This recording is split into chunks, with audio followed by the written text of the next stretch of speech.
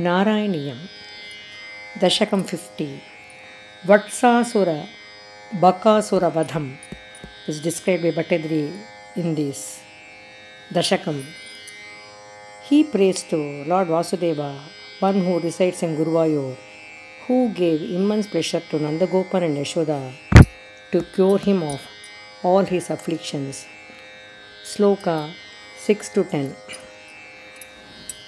सुरभिलतमां मूर्धनि ऊर्ध्वं कुतः कुसुमावली निपतति तवेत्युक्तो बालै सखेलमुदैरय झटिति धनुजक्षेपेण ऊर्ध्वं गतस्तरुमण्डलात्।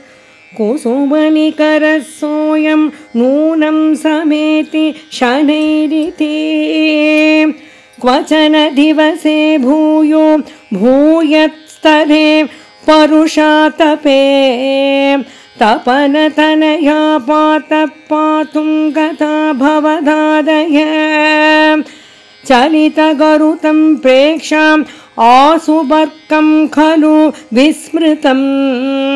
क्षितिधरगरुच्छेदे कैलासशैलमिवापरम्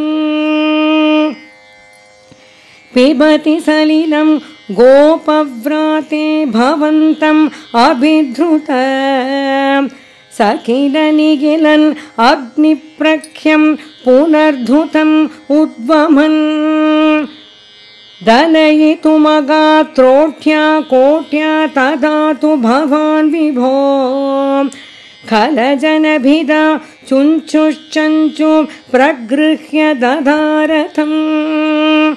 सपदि सहजां सन्दृष्टुं वामृतां खलु पूतनाम् अनुजम् अघमपि अग्रे गत्वा प्रतीक्षितुमेव वा।